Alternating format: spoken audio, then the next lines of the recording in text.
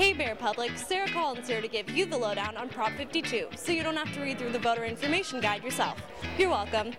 So, what is Prop 52? Basically, the prop aims to continue the current funding system for Medi-Cal. Medi-Cal is California's version of Medicaid, a federal government program designed to help pay for healthcare services for low-income patients. In order to receive Medicaid funding, however, each state must contribute a matching amount of its own money. Since 2009, California has used private hospital money instead of taxpayers to get those state matching funds. So, private hospital money goes into the Medi-Cal fund, the federal Medicaid program matches that, and the money goes back to private and public hospitals, giving them an extra 3.5 billion to implement Medi-Cal. Not bad, eh?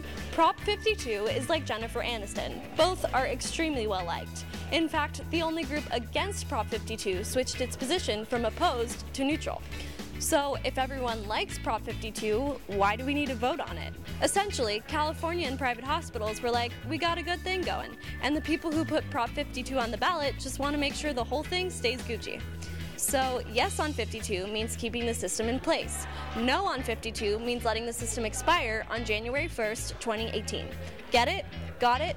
Good. Oh, and vote. Tuesday, November 8th. Do it.